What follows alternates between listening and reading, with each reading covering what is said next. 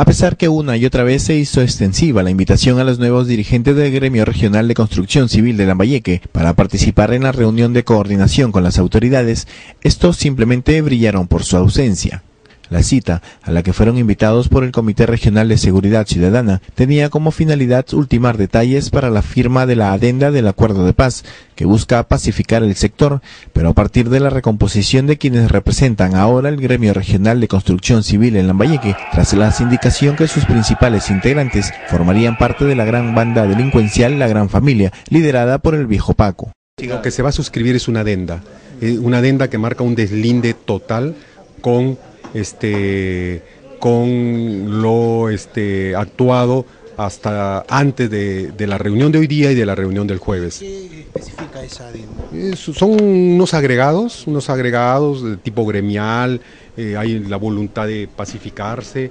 eh, de, continuar con el proceso de pacificación, eh, que no culmina con la suscripción de la adenda, ni tampoco culmina con los, con la, con los, con los este, operativos que se han producido el fin de semana y que van a continuar. Eh, el, trabajo de la mesa de diálogo va a continuar, va a continuar,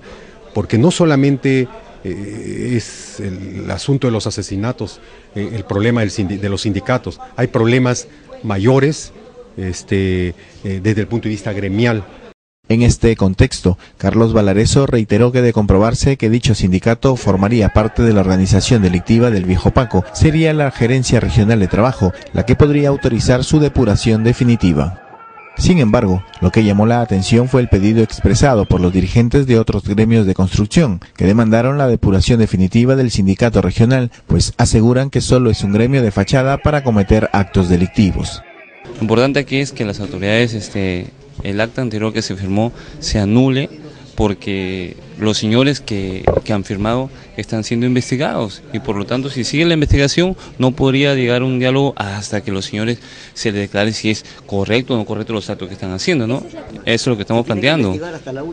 Se tiene que investigar, que Pero entonces quiere decir que ustedes no van a firmar hasta que no, no se dé esto. No, nosotros no tenemos apuro de firmar ninguna El día jueves van a anular ese, ese, documento que los anteriores dirigentes, según dirigentes han firmado, lo van a anular, posteriormente nosotros sí firmaremos. El acuerdo es lo siguiente, si se firma el acta, que se firme el acta con personas que no tengan, no tengan ningún proceso y sean personas intachables. No vamos a firmar con personas que están siendo procesadas y, y si los encuentran culpables o no, solamente están las autoridades y hasta que no se aclare ese problema, los señores no tendrán ni una validez. El próximo jueves se definiría la situación del sindicato regional y se firmará entonces dicha adenda, que sería parte de una forma de pacificar el sector.